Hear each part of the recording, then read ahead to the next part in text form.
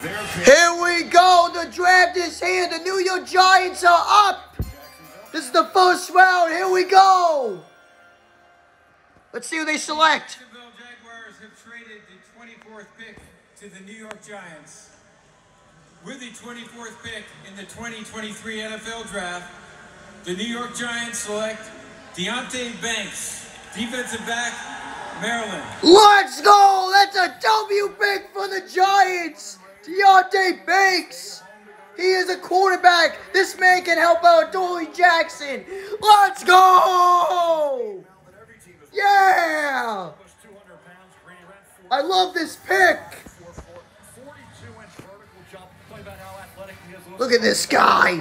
You think about this year, he came back from a shoulder injury, missed most of 2021. I'm watching Jakorian Bennett to start the year. He's a really good player. Probably be a third round pick, fourth round pick. Deonte- Oh, now he knows how to lock up receivers. Look at this man. Wow. Look at this man right here. Look at this. Now, at